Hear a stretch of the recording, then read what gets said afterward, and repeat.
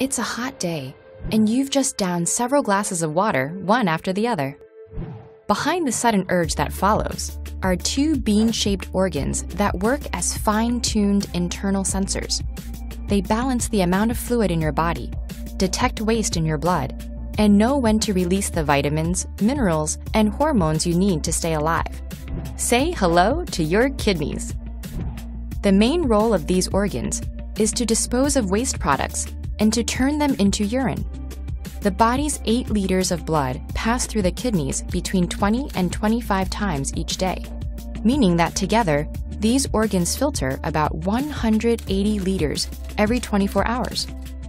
The ingredients in your blood are constantly changing as you ingest food and drink, which explains why the kidneys need to be on permanent duty.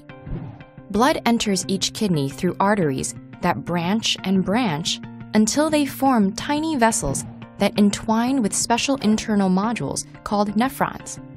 In each kidney, one million of these nephrons form a powerful array of filters and sensors that carefully sift through the blood. This is where we see just how refined and accurate this internal sensing system is.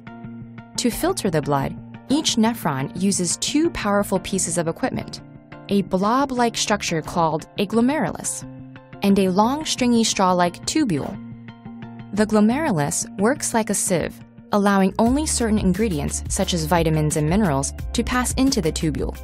Then, this vessel's job is to detect whether any of those ingredients are needed in the body. If so, they're reabsorbed in amounts that the body needs so they can circulate in the blood again. But the blood doesn't only carry useful ingredients. It contains waste products too, and the nephrons have to figure out what to do with them.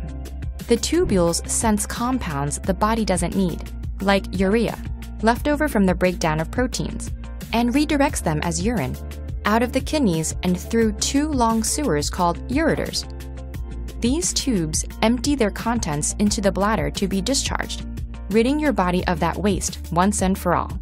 There's water in that urine too, if the kidney detects too much of it in your blood, for instance, when you've chugged several glasses at once, it sends the extra liquid to the bladder to be removed.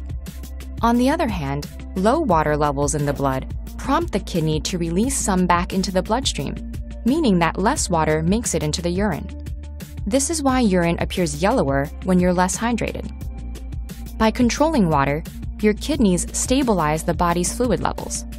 But this fine balancing act isn't the kidney's only skill.